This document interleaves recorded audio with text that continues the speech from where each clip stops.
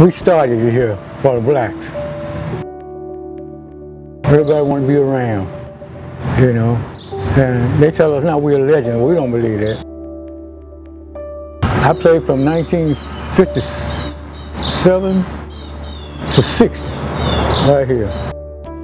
It was rough, but all we wanted to do was play baseball.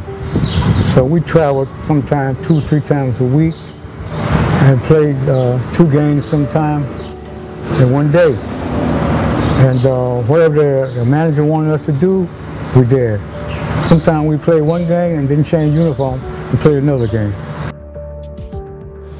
It was a fun time, you know.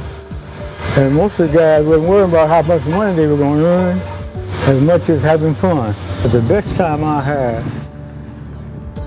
before I went to play pro ball was playing here on the weekends. You know, when all your friends and your family, you couldn't get in here. You couldn't get in. They packed it every Sunday. Baseball around Durham now, as far as blacks are concerned, is almost a lost thing.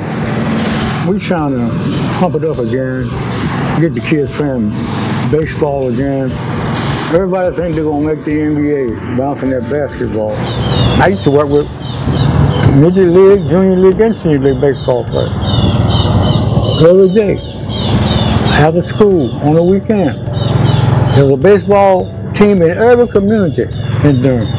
Can't find it anymore. Can't find it. That's what we got. I got signed right here. Yeah.